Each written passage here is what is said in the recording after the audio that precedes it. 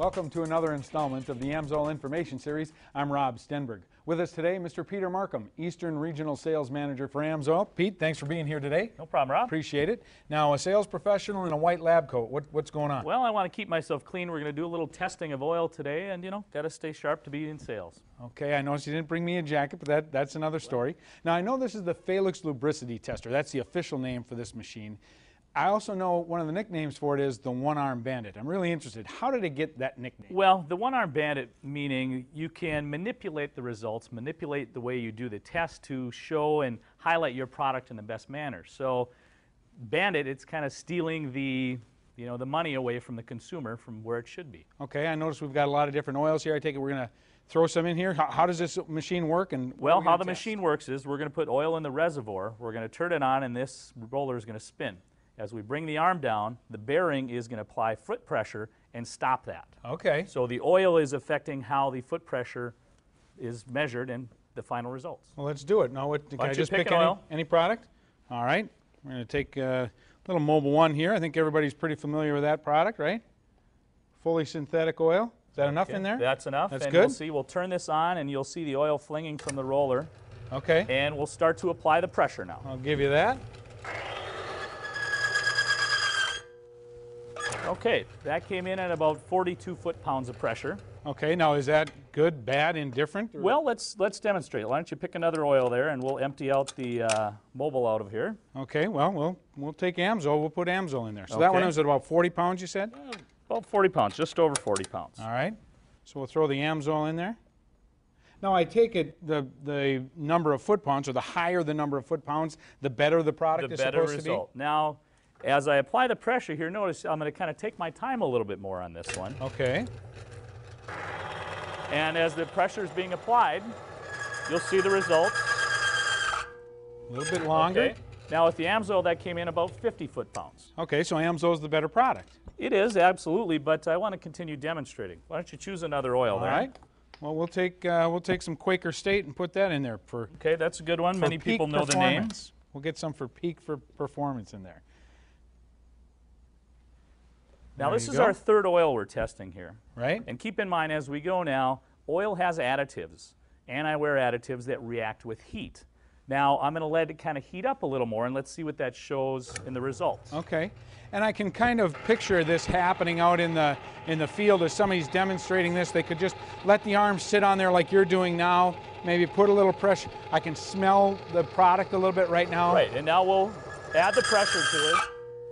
That was about 60 again this time. Okay, so, so a little bit same about results. the same, but a little bit higher. And now well, keep in mind, this bearing that's stopping the roller yeah. is also now getting a larger wear print there. So what's happening to that surface? That allows the surface to accumulate more of the anti-wear additives. The heat stays on there, and that will affect. Now, why don't you go ahead and choose another oil? Well, what if we did another product? I mean, one of the ones we did, like sure. the AMSOIL product. Choose if we do that again? Fill All it up. Enough in there? That's plenty. You'll okay. see once again it's yep. spinning off the roller. All right. Now we're really going to allow this to heat up. Add a little bit more pressure to it as you can hear it. It sounds a little bit different. It sounds a little smoother. A little smooth. That's those anti-wear additives reacting with the heat. Okay. Now we'll slowly apply more pressure. Now you can hear a little sound, but then it's smoothed out. So you could be here talking about how great your product is, just keep putting that pressure on there, letting those additives correct act up or get into action. Nice.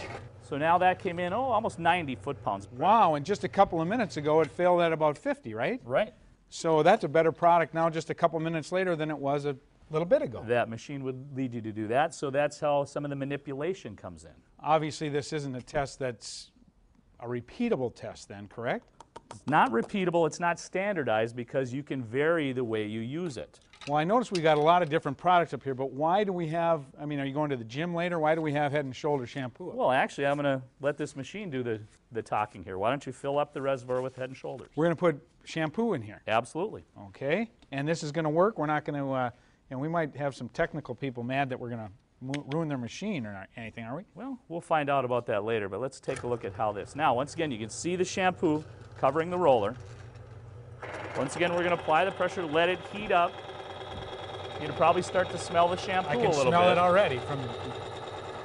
Apply a little more pressure. It's Still very smooth. And this, you wouldn't put this in an engine, now, would you? You never would do that. and you almost Okay. even see a little smoke coming there. I don't want anybody to be deceived. Oh, I can see it smoking up already. I, I haven't changed the it, too. pressure, but now it's evened out. It's quieter.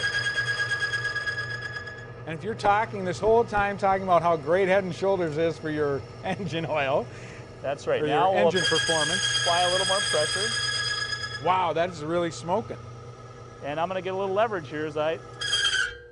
Wow. And that was about 100 foot pounds of pressure for shampoo. With shampoo.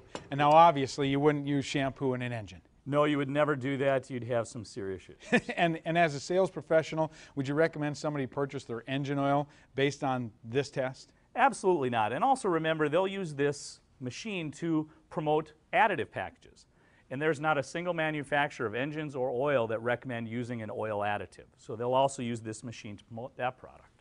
Well, Pete, we really appreciate you being here, showing us how the one arm bandit works. Don't let the one arm bandit take advantage of you. For the AMSOIL Information Series, I'm Rob Stenberg. We'll see you next time.